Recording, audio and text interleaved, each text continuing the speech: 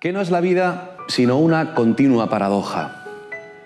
Hoy tenemos casas más grandes y familias más pequeñas, más comodidades, pero menos tiempo, más licenciaturas, pero menos sentido común, más conocimientos, pero menos juicio.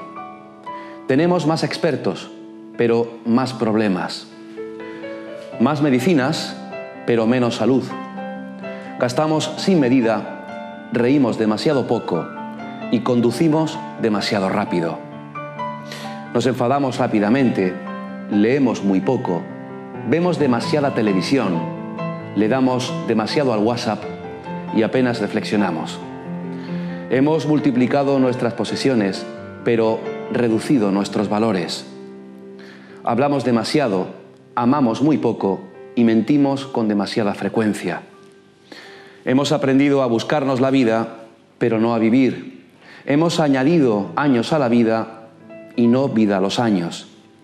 Tenemos más edificios altos, pero temperamentos más cortos.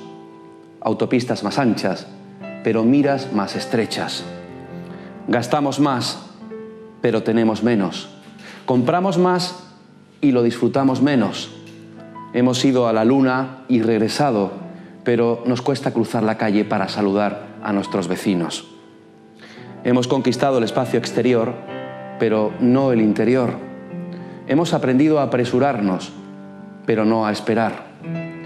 Tenemos mayores ingresos, pero no más moral.